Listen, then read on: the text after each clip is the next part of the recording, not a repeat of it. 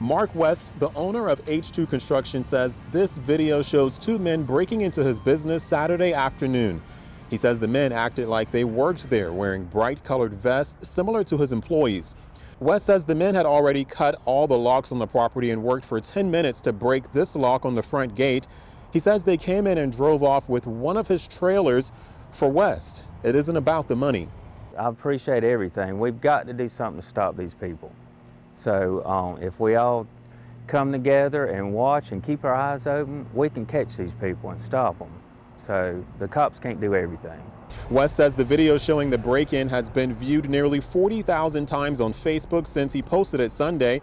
West says he believes the clarity of the video has helped and says he's hoping someone will be able to identify the men.